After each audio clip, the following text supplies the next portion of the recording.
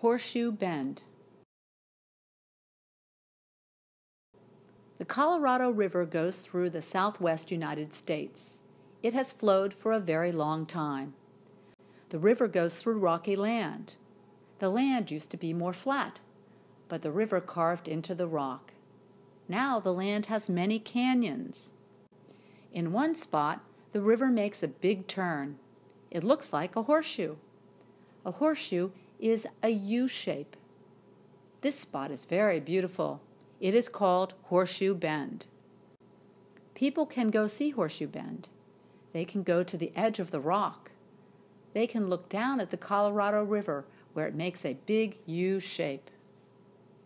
The Colorado River goes through the southwest United States. It has flowed for a very long time. The river goes through rocky land. The land used to be more flat, but the river carved into the rock. Now the land has many canyons. In one spot, the river makes a big turn. It looks like a horseshoe. A horseshoe is a U shape. This spot is very beautiful. It is called Horseshoe Bend. People can go see Horseshoe Bend. They can go to the edge of the rock. They can look down at the Colorado River where it makes a big U shape.